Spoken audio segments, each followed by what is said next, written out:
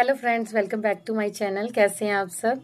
I hope कि आप सब अच्छे ही होंगे। सो so, आज का मेरा जो ये वीडियो है वो है बहुत ही अच्छा पैक मैं आपके साथ शेयर करने जा रही हूँ आज कि आप इसे लगाएँगे कि आपको इंस्टेंट ग्लो नज़र आएगा। काफ़ी अच्छा पैक है। आप एक बार इसे बनाकर देखिए लगाकर देखिए आपको डेफिनेटली पसंद आएगा ये वाला पैक जो कि नेचुरल घर में ही आपको सारी चीज़ें इसकी मिल जाएँगी। नेचुरल इंग्रेडिएंट से ही बना हुआ है।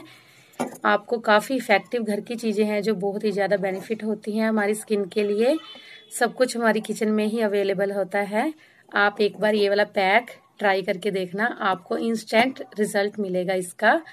कोरियंस क्या करते हैं, अपनी स्किन के लिए सबसे ज़्यादा क्या यूज़ करते हैं? राइस राइस से स्किन बहुत ही ज़्यादा फ्लॉलेस नज़र आती है, बहुत ही ज़्यादा ग्लोइंग बनती है शाइनी बनती है। आप एक बार ये पैक बस आप लगा कर देखना आपको पता चल ही जाएगा खुद ही। एक बार आ, आप इसे जब अप्लाई करोगे तो आप कहेंगे कि ये पैक इतना अच्छा है कि आपको लगेगा कि मेरा फेस बहुत ही ज़्यादा शाइन कर रहा है बहुत अच्छा लग रहा है। हफ़्ते में आप तीन चार बार इसे अप्लाई करें ये वाला पैक कोई साइड इफ़ेक्ट नहीं है इसका कोई भी लगा सकता है इसको तो आप इसे एक बार ट्राई करें।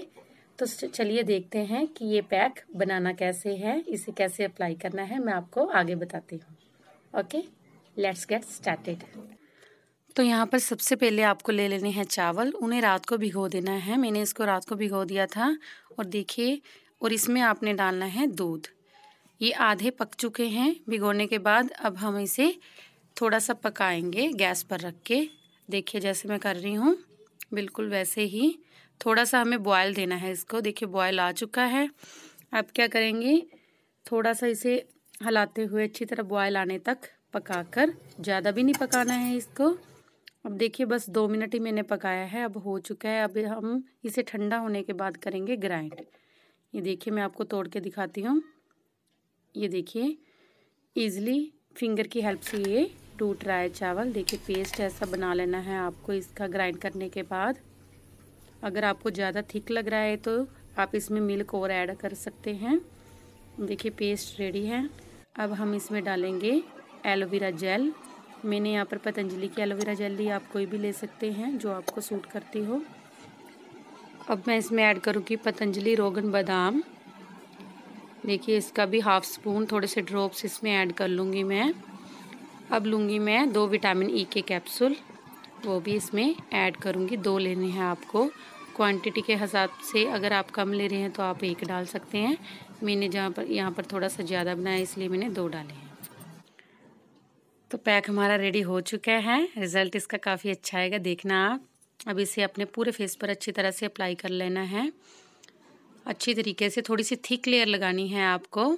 ये पेस्ट थोड़ा सा गाढ़ा है, इसलिए आपको अच्छे तरीके से लगाना है। थिन सी लेयर नहीं लगानी है पतला पतला नहीं लगाना है।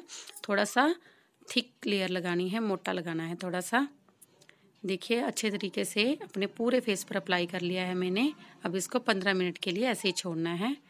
ये देखिए, कितना अच्छा रिज़ल्ट आ गया है इसका। फेस कितना अच्छा लग रहा है। आपको कैसा लग रहा है आप ज़रूर बताना फ्रेंड्स। मुझे तो फाइनली बहुत ही अच्छा रिज़ल्ट मिला है इसका।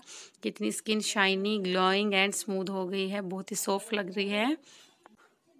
आप हफ़्ते में एटलीस्ट इसे तीन बार तो इसे अप्लाई करें ही करें ज़रूर। इसका अच्छा रिज़ल्ट पाने के लिए और भी ज़्यादा अच्छा मैंने इसे काफ़ी बार ट्राई किया है। मुझे काफ़ी पसंद है ये वाला पैक आप इसे अप्लाई करें। अगर आपको मेरी ये वीडियो अच्छी लगी हो तो वीडियो को लाइक कर देना। मेरे चैनल को सब्सक्राइब कर देना।